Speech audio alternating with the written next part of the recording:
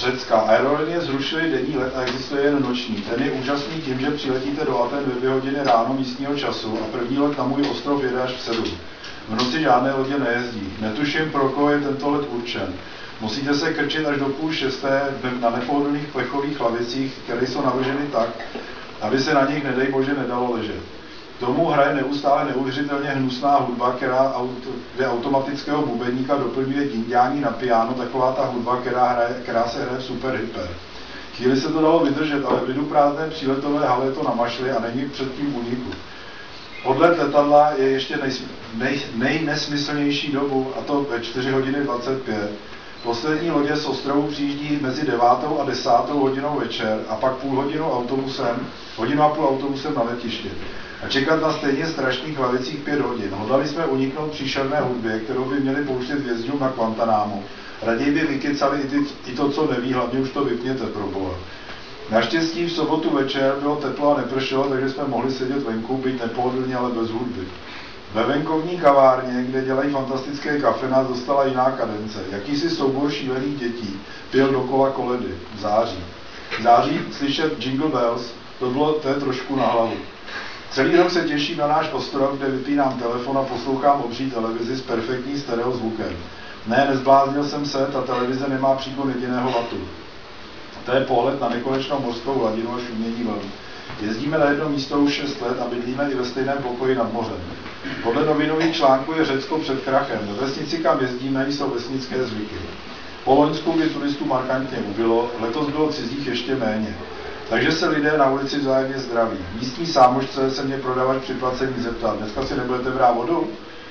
Vždyť si berete vždycky. Toto, toto víno bych vám nedoporučil, vemte si tohleto, má sice stejnou nálepku, ale berte si vždycky semi dry. A co vaše paní, už má záda v pořádku? Předloni, jak jste museli jet dřív domů, to mě bylo líto. Jo, už je to dobré, díky. A tak jde člověk po ulici a zdraví se s obchodníky, potkává své známé a jedno, jestli jsou z Anglie, z Jižní Afriky nebo ze Skandinávie.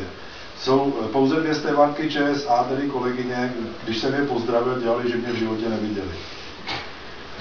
No jo, EU nám musí půjčit.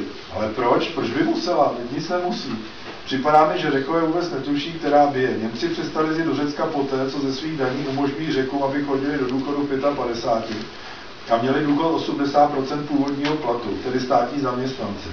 Když je každý desátý řek státním zaměstnancem, je to poměrně dost lidí. Chodím do jedné hospody, kde majitel je soudce, tedy státní zaměstnanec. Dříve byl hospůdce až večer, jeho žena byla jeho sekretářkou. Ta se ovšem stará o podnik a ve svém oficiálním zaměstnání nikdy nebyla. Aspoň já jsem ji viděl od rána do večera v hospodě. Pan soudce je už v důchodu 57 let a tak s námi vysedával při výjimku. Od příštího měsíce budeme mít daň na všechno 23%, no to je konec. No konec by to byl, kdybych někdy viděl od něčeho účet. Ale tento zbytečný cár papíru jsem nikde nedostal. Pouze při cestě lodi jsem dostal lístek, který byl číslovaný nebo v autobusu. Takže mě není moc jasné, podle čeho ty daně vypočítávají. Honili se mraky a bylo dusno. Večer jsem seděl na balkoně a fotografoval jsem si ty úžasné mraky. Půjdeme k Vinetuovi nebo k Varvaře. Dnes půjdeme k Varvaře. Pan soudce vypálil a mohlo by tam být veselo. No a také bylo. Sedněte si tady, máme plno, čeká se bouřka a to bude Mela. Mela? Dáma židle na ulici, akorát v 9 si musíte stoupnout, to jede kolem autobus. Přesně jak to bylo ve filmu Roma, aspoň si myslím, že to byl tento film, kde jezdila kavárnou tramvaj. A když projížděla, tak si hosté museli stoupnout, jenže než došlo na devátou hodinu, vzdálené blesky a hromy se k nám přiblížily a v zápětí začalo jít jako skloně. První déšť po čtyřech měsících. A na to se napije, na zdraví. První půllitrové kavky dopadly na zem a děti začaly tleskat. Pak jsme si dali panáka rakie, kterou pan soudce čerstvě vypálil. První déšť, první panák rakie. Tedy pánové, to krásně leje. Teď si můžeme, a teď to je na mě, pane doktorku, nalejte nám. Blesk a strašná rána. Na ulici stojí voda, ve které se klouzají výskající děti promoklé na kůži. Bouřka se rozpoutala v plné síle. Hospoda plná místních, my jsme byli jediní cizinci.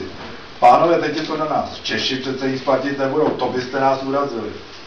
Bývalý poslanec, který eh, po jednom čtyřletém období pobírá stále poslanecký plat v 80, stála povídá, ten liák nám přivezl tady Honza z Prahy, tak mu nalejte a na to se napijeme. Při každém blesku se nalívalo. Došlo mně, že tato bouřka by mohla mít nedozírné následky. Když déšť konečně polevil, rychle jsme se rozloučili a mazali do našeho hotelu. Ještě v zádech jsme slyšeli, ten byl taky krásný, tak na zdraví.